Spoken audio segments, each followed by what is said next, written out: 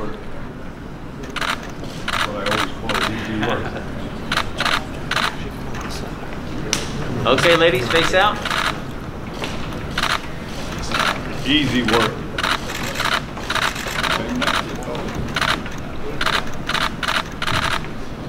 Thank you.